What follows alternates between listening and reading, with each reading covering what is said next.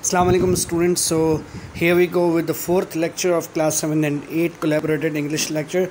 And as you all know that we have been working on English grammar and so far we have done present tense, simple and continuous. Now today we are going to cover about uh, past tense, uh, simple tense and continuous tense. Why I have you know jumped over past tense by skipping over the last two categories of present tense which were present perfect and present perfect continuous the notion the idea that i did this is to make you understand more quickly uh, and in the parallel sense about uh, both tenses okay? So here we go that the slide which is being displayed over to you showing you the present tense chart of simple and continuous category and also showing you the chart of past simple and continuous tense. So you can now compare and analyze the difference between these two tenses and between the two tenses categories comparatively and in parallel. So in past tense we have you know uh, the activity which is completed in routine 24 hours ago. And the past continuous shows the activity which is in process 24 hours ago. Okay so the basic difference between present simple and past simple is the form of the verb. We use the second form of the verb in past simple.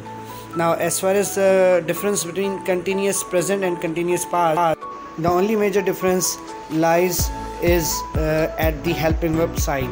Like we use is mr in present tense per continuous portion and was and were uh, for past continuous uh, category was for singular and were for plural.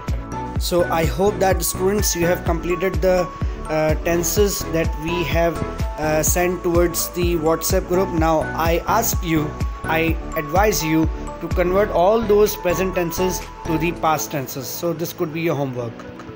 So here you go with a chapter slide which is being displayed to you in this chapter i'm going to briefly define you about uh, the content of the chapter and then you are requested you are advised to uh, find out the words meaning make a summary of this uh, short chapter and also recognize the tenses being used uh, in this uh, you know chapter.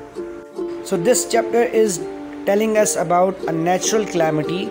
Calamity means a natural disaster uh, that is in the form of earthquake which happened on 17th Jan- January 1995 the earthquake hit the Japanese city of Kobe which has population of around 10 million okay?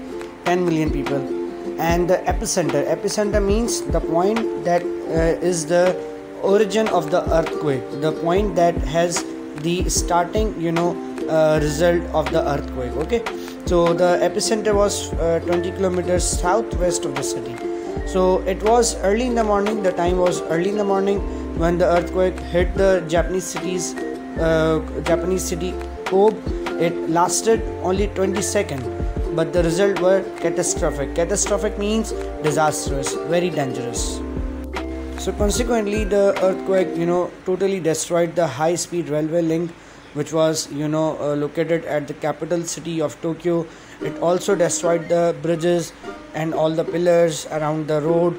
So the total duration of the calam- of the natural calamity was just 20 seconds, but the results were quite catastrophic. Moreover, uh, it was reported that more than a hundred thousand buildings were, uh, you know, destroyed 300,000 people lost homes, 500 people were killed. Uh, so the result was, uh, you know, you can see, you can imagine, very catastrophic. We should pray that uh, we all may be protected by the mercy of Allah all the time. And so, students, uh, this is the whole content and whole uh, central idea of this chapter uh, you are supposed to make a summary summary should include a little introduction the main body and then the conclusion. Moreover, the words and meanings that you will be finding out, you should also make the sentences for those words so that you can improve your drafting skills as well. And you should read out the chapter and make a one minute video of your reading. Okay, thank you so much allah hafiz